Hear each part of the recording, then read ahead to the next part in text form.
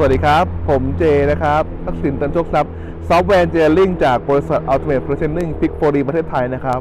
สำหรับคลิปวิดีโอนี้ก็คือสำหรับคลิปวิดีโอที่ทุกท่านหลายท่านขอเข้ามานะครับ ก็คือ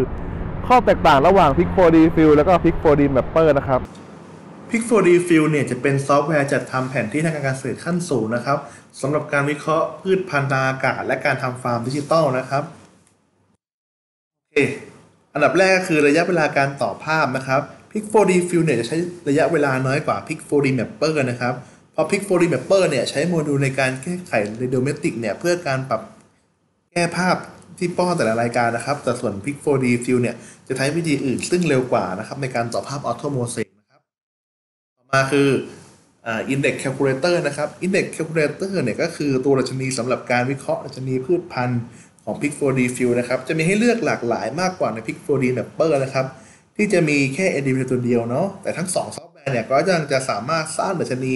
เพื่อจะวิเคราะห์ขึ้นเองได้ทั้งคู่นะครับ แต่ว่าใน Mapper เราต้องมานั่งเขียนสมการเองนะครับแต่ในเราไม่จำเป็นต้องเขียนเนาะ ในตัวที่เราตัวอื่นที่เราต้องการนะครับ ต่อมาคือฟังก์ชัน zonation นะครับ zonation เนี่ยจะคือเครื่องมือการจัดกลุ่มของค่าดัชนีพืชพันธุ์นะครับ ก็คือการกรุ๊ปค่าให้อยู่ในจำนวนค่าที่เราต้องการนะครับ จะมีใน Pick 4D Field นะครับ แต่จะไม่มีใน Pick 4D Mapper นะครับ ต่อมาคือฟังก์ชันของ comparison นะครับ comparison เนี่ยก็คือเครื่องมือการเปรียบเทียบระหว่างภาพที่จะวิเคราะห์กับภาพอื่นๆนะครับ เช่น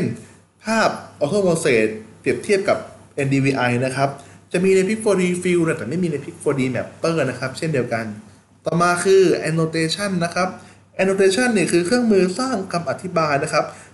point line หรือ polygon นะครับ จะสามารถใส่คำอธิบายในรูปได้นะครับ จะมีเฉพาะใน Pick 4D Field เนาะ Mapper ก็จะไม่มีนะครับในฟังก์ชันนี้ ต่อมาคือใน Pick 4D Field เนี่ยจะสามารถแชร์ to จอเดียได้นะครับ คือการแชร์ข้อมูลของเราเนี่ยไปยังเครื่องมือทางการเกษตร เช่นรถไถรถขุดหรือโดรนสำหรับให้อาหารพืชนะครับของจอเดียได้นะครับ แต่ Pix4D Mapper เนี่ยไม่สามารถทำได้นะครับ ต่อมาก็คือ ฟังก์ชันของ Data Synchronization นะครับ ก็คือการ up ข้อมูลโปรเจกต์ที่เราทำใน p i c 4D Field เนี่ยครับ บันทึกไว้เลย และยังสามารถ login เข้าใช้ p i c 4D Field จากอุปกรณ์อื่นทำงานได้ต่อเลยนะครับ ไม่จำเป็นต้อง save ข้อมูลไปด้วยนะครับ ก็คือแบบว่าถ้าทีมสนามเรา up ข้อมูล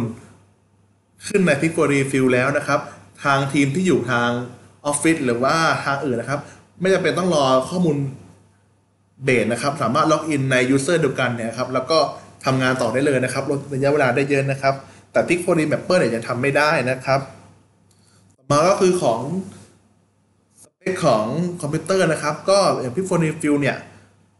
ไม่จำเป็นต้องทำสเปคสูงมากนะครับ ก็จะเป็น CPU i3 นะครับ GPU นะครับ NVMe นะครับ2 g b เนาะระบบปฏิบัติการ OS นะครับ Windows 10 ก็ได้นะครับ RAM 4กิกก็น่าพอนะครับจาก Mapper เนี่ยจะสเปคสูงกว่านะครับเนาะเพราะว่า Mapper จะต้องใช้พื้นที่เยอะนะครับ ใช้ RAM เยอะนะครับ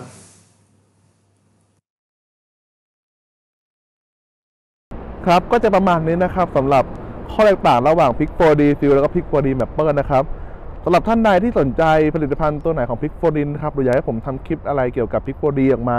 ก็สามารถ comment ได้ที่ใต้วิดีโอนี้เลยครับ หรือช่องทางติดต่อบริษัท Ultimate Positioning จำกัดนะครับ แล้วก็หวังว่าวิดีโอนี้จะเป็นประโยชน์นะครับ ขอบคุณมากครับ